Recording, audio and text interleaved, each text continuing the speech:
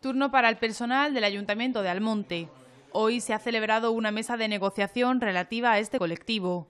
Una negociación que recoge la equiparación de los sueldos de este grupo de trabajadores a los del grupo de servicios, cultura y deportes.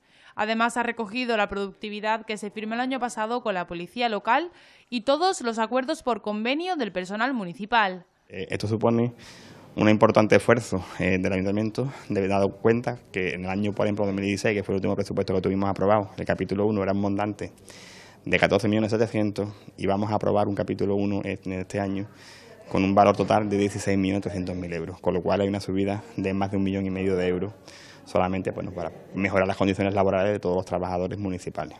Esta mesa se ha celebrado previa a la comisión informativa que ha sido esta tarde y pretende escuchar más propuestas por parte de los sindicatos.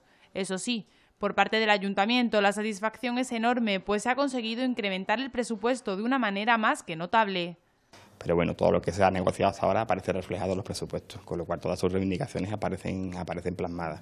Entonces yo creo que además hoy es un día en el que nos tenemos que felicitar, especialmente tanto los sindicatos como la corporación, bueno, porque se ha avanzado en las reivindicaciones que ellos perseguían, se han mejorado las condiciones de toda la plantilla municipal, eh, sobre todo se ha tenido especial interés en aquellos puestos de inferior categoría, que eran los que peor valorados estaban por las condiciones económicas, laborales y demás. Y bueno, pero aún así, como sabéis, pues tenemos todavía eh, otros proyectos en marcha. Aún queda mucho trabajo por delante. Lo próximo es la elaboración de una relación de puestos de trabajo cuyo borrador pretende estar listo desde el mes de diciembre.